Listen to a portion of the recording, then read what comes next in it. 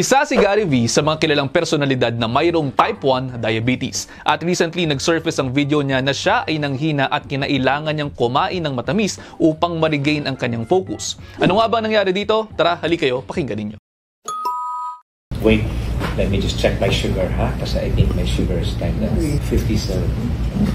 Sorry ha, but I'm like that. Ayun, dito sa video na to, bumaba ang blood sugar ni Sir Gary V sa 57 habang kaharap ang press at kinailangan niyang kumain ng matamis. Hypoglycemia, isa itong komplikasyon ng diabetes, lalo na yung type 1 diabetes na naka-insulin. Si Sir Gary V ay isa sa mga typical patients na mayroong type 1 diabetes at bilang isang kilalang personalidad at kaya naman niyang mag-provide naka-insulin pump siya. Ibig sabihin, continuous yung insulin na gumagana sa kanyang katawan na minimimic ang insulin doses ng normal na katawan ng tao. Ang problema dito, kung hindi regular ang pagkain ng sapat na carbohydrates, ng proteins at ng fats, po pwede talagang mag-hypoglycemia si Sir Gary.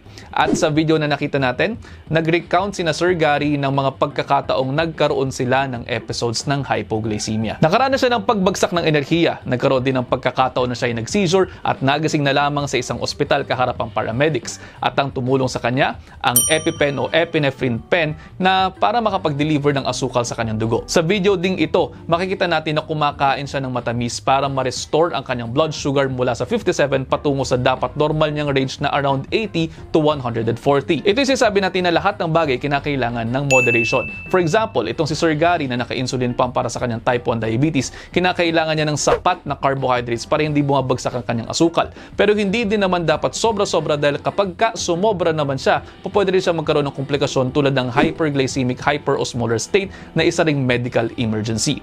Kaya naman po, again, malaki ang maitutulong ng tamang pagbabalanse ng pagkain dito. Kapansin-pansin din po ang paggamit niya ng CGM o yung Continuous Glucose Monitoring System. Mayroon niyang patch na inilalagay o nakadikit dito sa likod ng kanyang braso at tinatapat lamang niya yung device para mabasa kung ano ang kanyang blood sugar. Accurate po ang mga yan, mas mabilis niyang ginagawa ang pag-check ng blood sugar kaysa sa kukuha ka pa ng lancet, ipiprick mo pa yung daliri mo at saka pababasahin ng machine. Kaya again, ang sabi nga po natin, moderation, variety, and balance para sa lahat ng bagay, lalo na sa pagkain. Mayroong roles ang carbohydrates, mayroong roles ang proteins, mayroong roles din ang fats, pati na rin ang mga vitamins and minerals na kinakailangan natin hindi lamang para maisaayos ang ating mga katawan, pero para din po ma-maintain ang ating mga health. At kung tatanggalin natin totally ang isa sa mga yan, po pwede magkaroon ng problema. Isipin po ninyo, kung ang isang katulad ni Sir Gary ay hindi talaga kakain ng carbohydrates at hihintayin pa natin ang gluconeogenesis niya, po pwede siya magkaroon ng problema sa stroke, po pwede magkaroon ng problema sa puso, at marami pang ibang komplikasyon. Kaya again, ulitin ko lamang po, moderation, variety, and balance. At kung kinakailangan ng konsulta, pumunta sa isang registered nutritionist dietitian dahil mayroon din tayo mga dietary principles tulad ng individualization, liberalization, at simplification para maging sustainable para sa inyo ang inyong mga dietary plans. At ayun, sabi ko nga sa inyo, ayaw na ayaw ko lang naman talagang nagkakasakit kayo. At sa huli, ano't ano man ang mangyari, tayo, tayo lang din naman talaga ang magtutulong-tulungan. Kaya naman yun lang for now, i-digest nyo muna dahil ang gusto ko ay healthy kayong lahat. See you next episode. Ingat